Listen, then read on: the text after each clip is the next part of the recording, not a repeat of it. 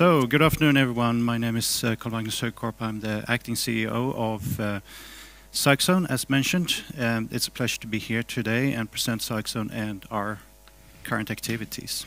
So, um, just a quick reminder here, uh, some disclaimer regarding forward-looking statements that will be um, done here in, in this presentation.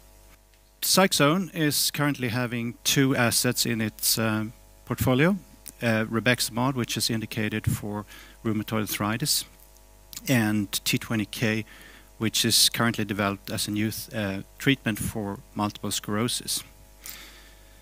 Um, the current management team consists of myself, who is acting CEO, as well as Chief Operating Officer. We have Chief Financial Officer, Henrik Hang and Chief Development Officer Erika Samuelsson, um, all with uh, long-term experience in their various expertise fields. Uh, we are we have a very experienced scientific advisory team uh, with uh, Jürgen Ries, who has uh, spent uh, many many years at Boehringer Ingelheim and uh, launching a number of drugs in autoimmune, uh, autoimmune diseases, as well as Martin Krahn, who is a rheumatologist and have been part of several um, drug development programs in rheumatoid arthritis. Uh, for the preclinical research, we are working with uh, Professor Richard Holmdahl, who is a uh, distinguished immunologist and inflammation researcher here at Karolinska in Stockholm as well as Professor uh, Christian Gruber, who is based at Medical University of Vienna and is a renowned expert in cyclotide technology. Now, so uh, the portfolio consists of Rabeximod, which is indicated for rheumatoid arthritis. It's currently being um, uh, is currently entering phase 2b studies. Uh, the other asset, T20K, is in preclinical uh, activities and is about to enter clinical trials later on. Uh, today I will focus on talking more about uh, our main um, asset, uh, Rabeximod, which is the most advanced asset. Uh, so rheumatoid arthritis, we have touched on it before. So uh, rheumatoid arthritis is a lifelong chronic disease which um, pain, joint deformity, and bone erosion. It requires lifelong uh, medical treatment, and roughly 20 million people suffer from rheumatoid arthritis today. Many of these do not benefit from the current uh, drug treatments that are available, and uh, therefore it, there is a, a strong demand for new drugs, especially oral drugs. So Lack of treatment response and safety is the main drivers for novel effect, uh, novel therapies. Uh, and uh, the current treatment guidelines uh, provides drugs in the beginning of the treatment cycle which are quite burdened with safety effects like uh, methotrexate. Uh, and the second tier medications will be expensive uh, injectable uh, biologics and JAK inhibitors. And again, there's quite a large fraction of the, these patients that do not respond to these treatments. Um, so the current treatment landscape uh, consists of a range of biologic, uh, expensive biologic treatments, as well as uh, the JAK inhibitors, uh, which are oral small molecule synthetic um, drugs.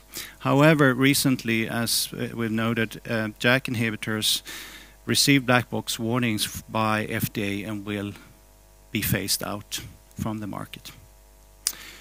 Uh, so there is a need for other oral therapies to fill this void.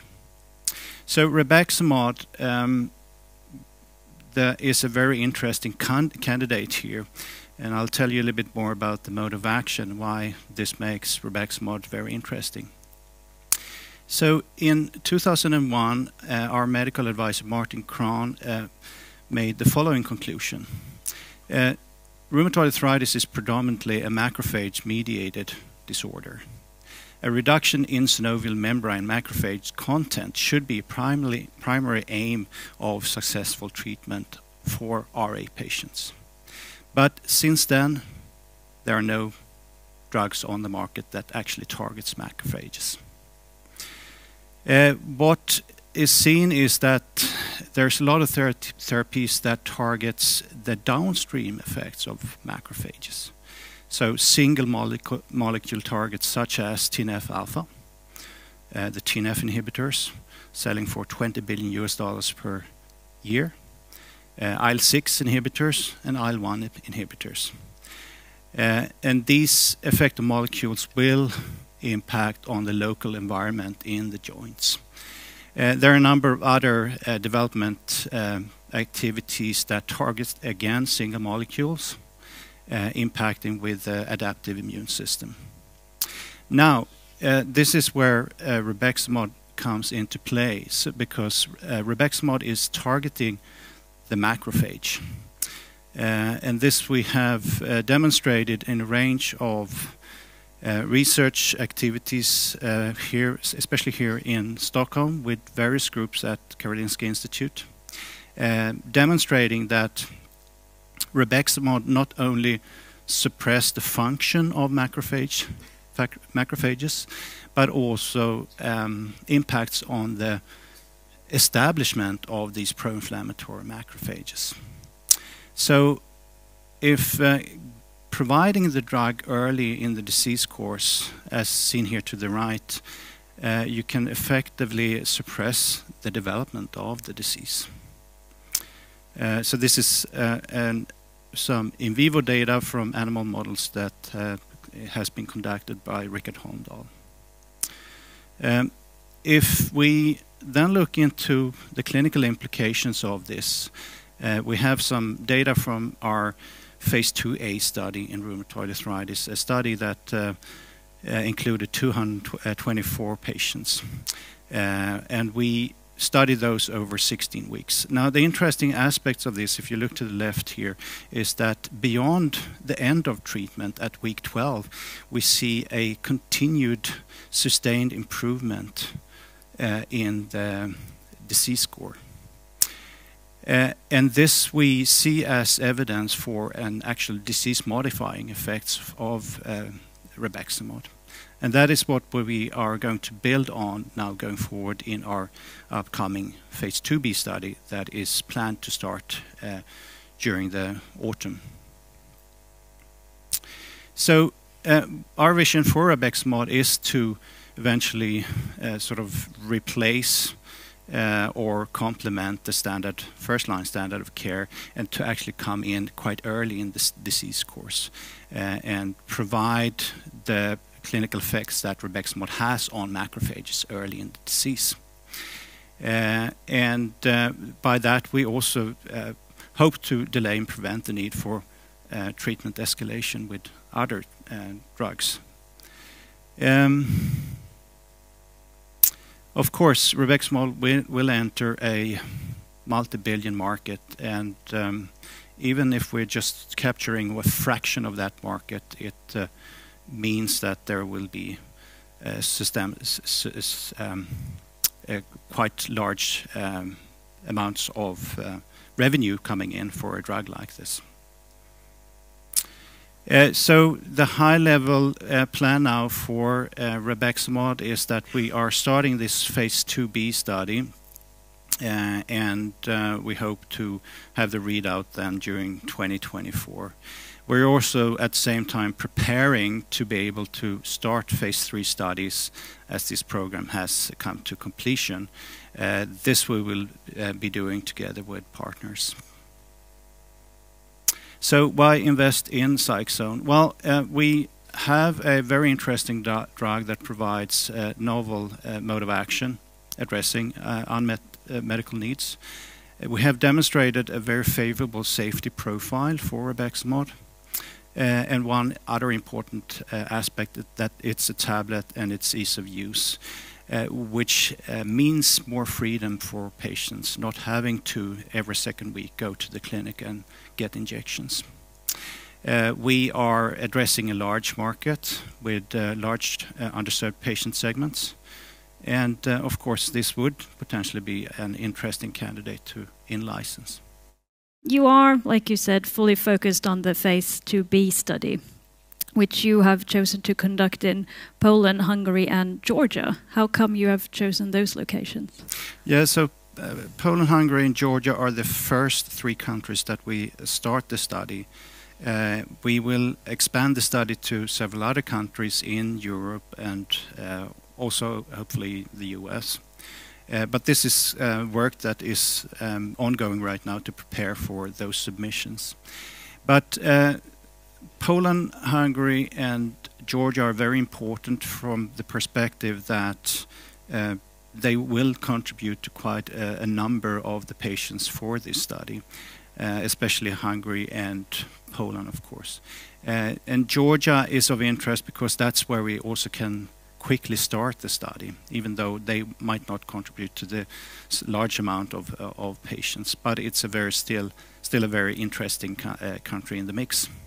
And you're then in the process of deciding which countries to add after that, if I understand you we correctly. We have already decided which countries to expand the study in, and we have um, confirmed all the sites that will be um, be part of the study. Uh, what's missing is the regulatory approvals. And I, I, of course, have to ask, uh, considering the fact that this study will then, to some extent, be conducted in Eastern Europe, does the situation in Ukraine pose any challenges to this study? Well, um, certainly it did. So originally we had a plan to actually include Ukraine um, among the countries in the study. Uh, Ukraine has historically been very important for this type of um, drug development activities. Uh, it's a large country uh, with a lot of patients, uh, but unfortunately we had to drop Ukraine from the list of uh, countries. And uh, it's projected to start this year, correctly? Yes. So uh, we're currently waiting for the regulatory approvals from Poland, uh, Hungary, and Georgia. And as uh, soon as we receive that, we will start with the site initiation activities. So uh, of course that will take a little bit of time, uh, but. Uh, hope to be able to enroll the first patients in the beginning of the year. And you are the, the acting CEO at the moment, and you've also recently hired a new CDO, if I got her title Correct. correctly. Uh, what what will she bring to the to the company? Yeah, yeah. So we're building a team that um, uh, is knows this context. You know, the companies that we represent, that uh, we are listed on First North, uh, and whatever that entails, uh, comfortable with development activities uh, where you know there's might be a, a little uncertainty going forward. Uh, so that's the kind of team we need to have in place that uh, has has a good understanding of how to move these kind of projects forward. So can we expect more staff changes in in the near future? I, I certainly hope so. Uh, you know, uh, it's it's a very valued, um, high, high valued asset that we're working with. We need to have the right people in the team to move this forward. But we do have a very, very good team, professional team, uh, especially um, a team that works with um, clinical operations and uh, managing the CRO that we're working with right now. So uh, we have a fantastic team, but certainly we need to grow in certain areas. Did we have any questions? Yes. Yeah, I have a, I have a question about the mode of action because, as I understand, it's a small molecule drug that is uh, acting on uh, M1 macrophages or pro-inflammatory macrophages.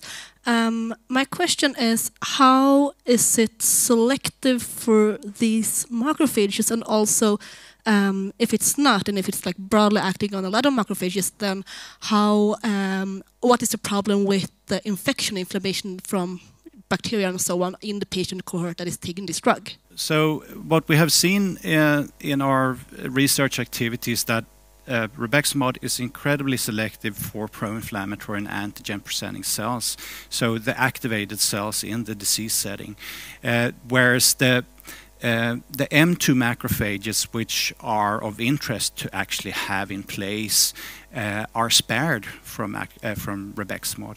So, uh, which makes this incredibly interesting because uh, we are targeting very sp specific cells that drive disease. However, as you say, you know, will this have any impact on um, infection, for instance, because that's something you typically see for the TNF inhibitors and other um, biologics, as well as the JAK inhibitors. Uh, we don't know yet. Uh, we have so far treated almost uh, 300 patients with the drug, and uh, so far nothing like that has been uh, reported. Uh, we are quite aware of the safety profile for Rabeximod, and I think that's that's one of the interesting edges with Rabeximod compared to many of the other drugs that are out there. We we have looked at the safety profiles both for methotrexate, which is uh, quite an ugly drug, uh, and and also the biologics, uh, which you see a lot of still um, safety concerns with. But in that mix, comparing that uh, with what we all what we know today for Rabeximod, it does look very very good for uh, Rabeximod. However, we cannot say that it's a safe drug until we have conducted phase three studies and ultimately it's it's the regulatory authorities that give us uh, permission to use uh, this drug. And as a final question then, if you were to come back here in a year, where would you want Cyxone to be? Uh, well, certainly it's uncertain times, uh, as we all know, uh, and it's it's difficult to predict the future. Um, but we we do hope that we'll be well into our phase two program and that it's uh, we're keeping the timelines and can be able to uh, will be able to report on the study results during 2024. Well, thank you so much, Carl Magnus. Thanks a lot.